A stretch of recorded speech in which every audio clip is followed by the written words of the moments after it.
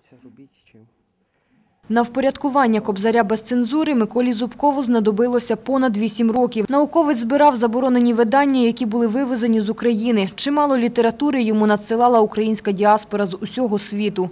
Микола Зубков розповідає, багаторічна цензура зробила Шевченка безбожником та атеїстом, хоча це не відповідає дійсності.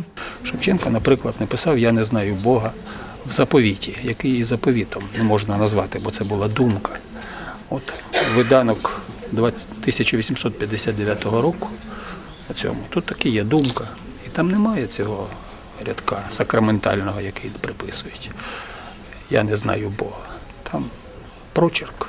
І роблячи Шевченка атеїста, більшовики якраз намагалися втрутися в цю царину.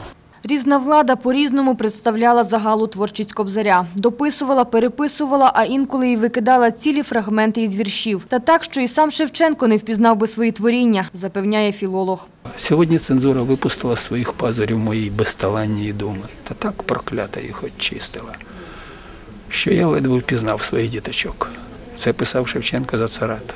Я написав, що пощастило Тарасові Шевченку не дожити до більшовицької цензури, бо та не тільки цензурувала, а й знищувала тих поетів, які співали неосанно більшовицькому режиму.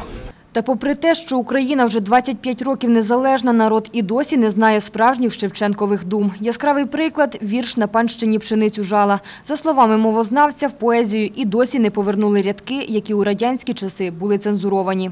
А діточки обід несуть, та йдучи, колоски збирають, мов та є доленька святая, мов янголяточка йдуть. Цього тексту нема. І досі в школі. От я розумію, чому цей текст забороняли в радянський період. Та Тому що колоски збирати це певні були асоціації. Хто такі янголяточка, вчителька теж не могла пояснити.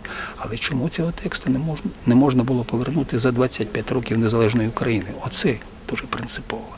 Фінал цього вірша теж неповний. Харківський мовознавець наголошує, навіть його багатолітня робота не дозволяє повністю розкрити феномен Шевченка. Розгортаєш кобзар на будь-якій сторінці, наче сьогодні написано. Ці тексти не можуть піти у небуття. Вони животрепетні. Звертаємося до них, занурюємося в Шевченкову правду.